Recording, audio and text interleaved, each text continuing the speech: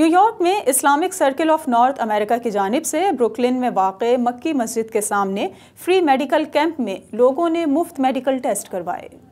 New York में Islamic Circle of North America ने Brooklyn में वाक़ मक्की मस्जिद के सामने एक फ्री मेडिकल कैंप का इनका किया, जहाँ लोगों ने मुफ़्त मेडिकल टेस्ट कराए। डॉक्टरों ने उसी वक्त लोगों को टेस्ट की रिपोर्ट के हवाले से आगाह किया। इकना ने ये फ्री मेडिकल स्टॉल अमेरिका में मौजूद पाकिस्तानी डॉक्टरों की तंजीम अपना के ताउन से लगाया। नमाज़ जहर के बाद शुरू होने वाला ये कैंप असर की नमाज़ तक जारी रहा। इकना रिलीफ के रीजनल डायरेक्टर अरशद जमाल का वॉइस ऑफ़ साउथ एशिया से गुफ्तगू में कहना था कि अमूमी तासुर ये है कि न्यूयॉर्क न्यूयॉर्क में हर एक फर्द को मेडिकल की सहूलत मैसर है। लेकिन ऐसा नहीं है। ऐसे लोग भी मौजूद हैं जो इंश्योरेंस की सहूलत हासिल करने से भी कासिर हैं। साथ ही उन्होंने बुनियादी सहूलियात फराहम करने के लिए एक क्लिनिक के क्याम का भी अजम ज़ाहिर किया। बेसिकली ऐसा लगता है की शायद न्यूयॉर्क में ज़्यादातर लोगों के पास मेडिकेट मौजूद है और लोगों को उससे जरूरियात पूरी हो जाती है लेकिन ऐसा नहीं है। अब देखिए कि यहाँ पे रश लगा हुआ है। लोगों को को पेमेंट के लिए पैसे नहीं होते लोगों के पास। लोगों के पास दवा लेने के पैसे नहीं होते। बेशुमार लोग ऐसे हैं कि जिनके पास इंश्योरेंस भी नहीं है।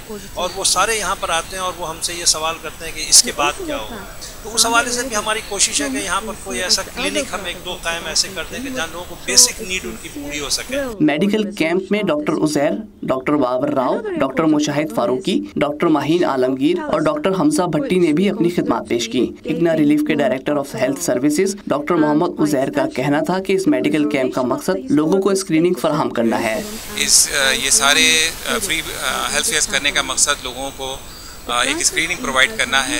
इस मौके पर न्यूयॉर्क पुलिस डिपार्टमेंट की कम्युनिटी अफेयर के अफसरान भी सिक्योरिटी के हवाले से अपने फराइज अंजाम दे रहे थे। Suleman Mushtaq voice of South Asia New York